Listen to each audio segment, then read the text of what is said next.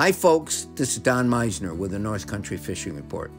You know, the DEC puts out statements all the time, or they, they have a website, and probably most of you don't go on there to see some of the new trends that are going on. But one of the things that they have announced is they want people to be aware, to be able to identify and to do the right things if they catch a snakehead. Now, before I've always told you that snakeheads don't exist this far up yet. They're an invasive species. They they became really prolific and, and commonly found down in the Potomac area, but they've been moving their way northward. Can they tolerate the conditions that we have here? I don't know. A lot of times we find out things that we can't don't think can live in this area actually can.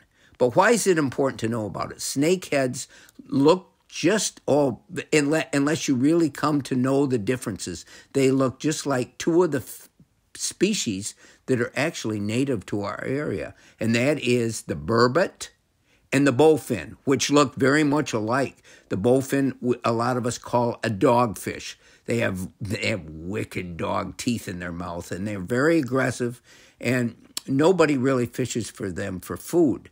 Burbot, on the other hand, which look very similar, uh, I, I have a friend in Canada that swears it's the best eating fish that he could ever catch, and he lives in an area that are that there's walleyes and northern pike and all kinds of fish that most of us think we want to eat.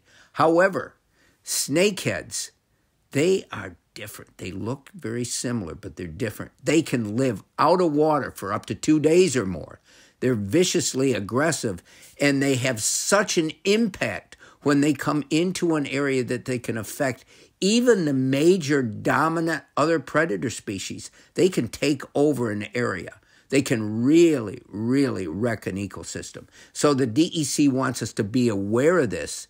And if you catch one, you can't you can't throw it back for heaven's sakes, but take a picture, freeze it, and let the DEC know where you caught it and the conditions and so forth.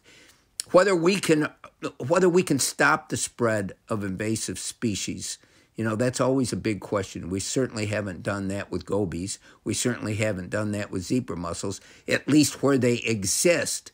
But what we want to do is do everything to try to prevent them spreading into other areas. And that's something to be aware of. Now, I've had lots of people tell me that they've caught snakehead in our area. But you, what you should do is you should Google snakehead. You should Google burbot and bowfin and see just what these fish look like so you know what we're talking about and realize that if the DEC is putting this out, chances are they are spreading to areas. Now, they'll spread in a number of ways, and a lot of times people have them in aquariums and then they they they dump the aquarium out or something and they're spread that way. And remember, these these snakehead fish, whatever you want to call them, they can spread by land as well as water. They can exist for a couple days and move on land, and and they'll they'll eat a lot of things that you'd be little birds, all kinds of stuff. They're very aggressive. So, the, I guess my story today